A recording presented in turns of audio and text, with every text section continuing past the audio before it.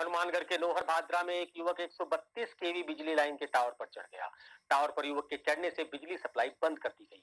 युवक काफ़ी समय तक टावर पर चढ़ा रहा। आपको बता दें कि युवक की मांग को लेकर नहीं, बल्कि शराब के नशे में धुत होकर टावर पर चढ़ गया। सूचना पर पुलिस मौके पर पहुँची और युवक से समझाइश कर उसे नीचे उतारा गया।